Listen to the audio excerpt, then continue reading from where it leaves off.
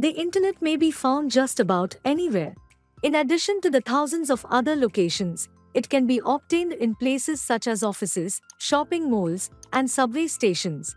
It is no longer considered a luxury item, but rather more of a fundamental necessity for metropolitan households.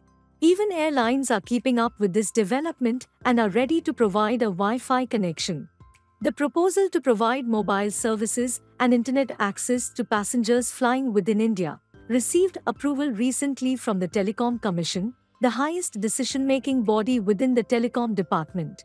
This means that mobile services and internet access will soon be available to passengers flying within India. In this video, we are going to discuss how it is going to function and how much it might cost you. Users will be able to better utilize the time spent traveling.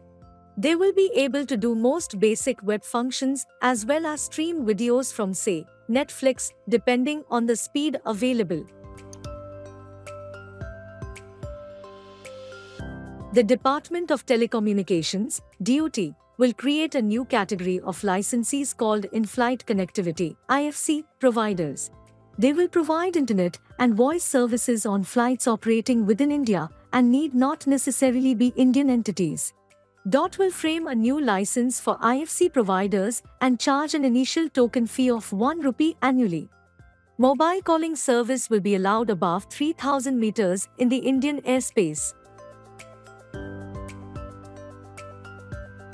In-flight Wi-Fi services rely on geostationary satellites which beam signals directly to antennas installed on the airline. This is more effective when the airline is passing over a water body compared with ATG air-to-ground, based networks which use satellites to beam the signal first to a transmitter on the ground and then to the antennas on the airline.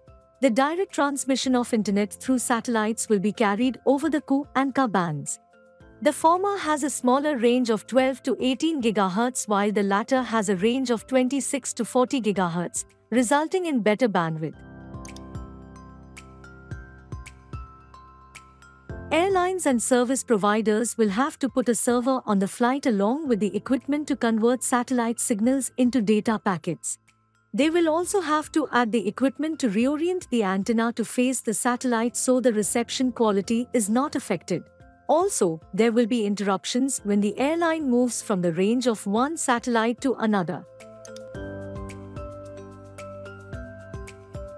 Installing equipment on every plane can be a costly affair for airlines. This means the cost of Wi-Fi services will be much higher than what consumers pay for 4G data available on mobile and public Wi-Fi networks on the ground.